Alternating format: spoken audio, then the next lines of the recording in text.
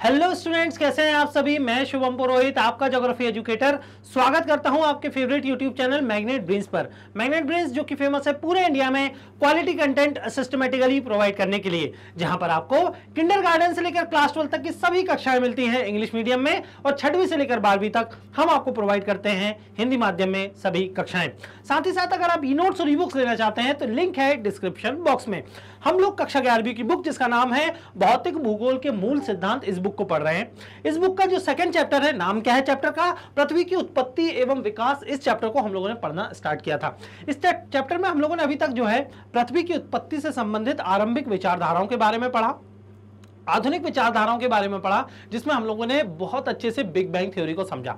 फिर हम लोगों ने तारे को, तारों का निर्माण किस तरीके से हुआ और ग्रहों का निर्माण किस तरीके से हुआ, उनकी उत्पत्ति क्या हुई, हम लोगों ने इस प्रोसेस को जानने की कोशिश की। आज की इस वीडियो में हम लोग समझेंगे कि पृथ्वी का उद्भव कैसे हुआ। देखिए, आप लोगों ने चैप्टर का जो नाम है, उससे हम लोगों ने स्टार्ट किया था कि पृथ्वी की उत्पत्ति एवं विकास, लेकिन बाद में मैंने आप लोगों को बताया था कि वैज्ञानिकों ने या भूगोलवेत्ताओं ने यह जानने की कोशिश की कि आखिर ब्रह्मांड की भी तो उत्पत्ति हुई होगी ना तो सबसे पहले अगर हम ब्रह्मांड की उत्पत्ति समझ लेते हैं तो हमें पृथ्वी की उत्पत्ति भी समझ में आ जाएगी। तो इसलिए हम लोगों ने बिग बैंग थ्योरी के बारे में पढ़ा, और वो सब पढ़ने के बाद अब हम फाइनली आ गए हैं कि पृथ्वी का उद्भव किस तरीके से हुआ। आइए समझते हैं। देखिए, प्रारंभ में पृथ्वी चट्टानी गर्म और वीरान ग्रह थी। प्रारंभ में मतलब आज जो पृथ्वी का स्वरूप हमें दिखाई दे रहा है, वैसा स्वरूप पहले नहीं था। पहले हमारी जो पृथ्वी थी, वो पूरा एक चट्टानी ग्रह थी और गर्म, इसका जो तापमान जो था वो बहुत ज़्यादा था और एक वीरान ग्रह थी। वीरान मतलब यहाँ पर कोई प्राणी, कोई जीव जंतु कोई वनस्पति नहीं होती थी, जिसका वायुमंडल क्या था? विरल था, जो हाइड्रोजन व हीलियम गैसें से बना हुआ था। तो आज जो वायुमंडल हमें दिखाई देता है, जिसमें मुख्यतः जो गैस पाई जाती है, जो कि नाइट्रोजन गैस गैस है, हाइड्रोजन गैस है, ये गैसें हमें पहले नहीं दिखाई देती थी। पहले सिर्फ़ कौन सी गैस दिखाई देती थी, वो वो गैस थी हाइड्रोजन और हीलियम। यह आज की पृथ्वी के वायुमंडल से बहुत अलग था। मतलब आज जो वायुमंडल हमें, दिखाई दे रहा है ना उससे बहुत जो था अलग वायुमंडल पहले दिखाई देता था। अतः कुछ ऐसी घटनाएँ और क्रियाएँ अवश्य हुई होंगी जिनके कारण चट्टानी वीरान और गर्म पृथ्वी ऐसे सुंदर ग्रह में परिवर्तित हो गई। तो ऐसी बहुत सी घटनाएँ ज़रूर हुई होंगी। क्या घटनाएँ? जिनको हम आगे पढ़ने वाले हैं जिससे यह चट्टानी पृथ्वी या गर्म पृथ्वी या वीरान पृथ्वी इतने सुंदर ग्रह में परिवर्तित हो गई है। और इतने सुंदर ग्रह ग्रह में परिवर्तित होने के बाद जो है, आज इस पृथ्वी का स्वरूप हमें दिखाई दे रहा है। लेकिन क्या पृथ्वी ऐसी ही रहने वाली है? नहीं, ऐसी नहीं रहेगी। कुछ समय बाद पृथ्वी की भी एक आयु रहती है।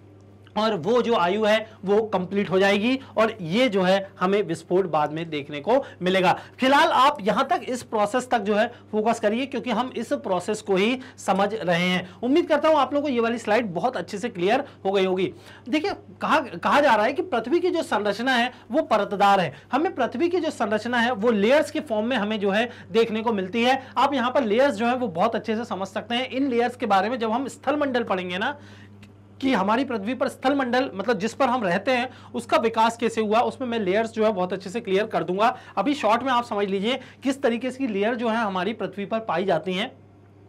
जिसको हम लोग क्या बोलते हैं, जो बाहरी लेयर आप लोगों को दिखाई दे रही है, उसको हम लोग बोलते हैं भूपरपटी। बीच में हम लोग जाते हैं तो उसको बोलते हैं मेंटल हिंदी में बोलते हैं प्रवार। और जैसे ही हम अंदर या अब अंदर की तरफ़ आप जाते हैं, जहाँ पर टेम्परेचर बहुत हाई है, इसे बोला जाता है क्रोड क्या बोला जाता है? क्रोड या इंग्लिश में बोलेंगे कोर। उम्मीद करता हूँ आप लोगों को ये बात बहुत अच्छे से क्लियर हो गई है, होगी। तो पृथ्वी की संरचना परतदार है। वायुमंडल के बाहरी छोर से पृथ्वी के क्रोड तक जो पदार्थ है, वो एक समान नहीं है। तो पृथ्वी का जो वायुमंडल है, वहाँ से अगर हम शुरू करें और क्रोड तक जाएँ। मतलब कहाँ तक जाएँ? यहाँ तक जाएँ। तो पृथ्वी के वायुमंडल से बाहर से लेकर अगर हम यहाँ तक आए तो जो संरचना, जो पदार्थ हमें पाए जाते हैं, वो पदार्थ एक समान नहीं है। वायुमंडल तो हमें दिखाई देता है कि भाई उसका घनत्व जो है, वो कम है। मतलब कण जो है, वो बहुत दूर दूर पाए जा रहे हैं, कहाँ पर? वायुमंडल में। लेकिन जैसे जैसे जो है, हम क्रोड की तरफ़ बढ़ते हैं तो कणों का जो घनत्व है या पृथ्वी का जो घनत्व है, वो अंदरूनी सतह पर बहुत ज़्यादा दिखाई पड़ता है।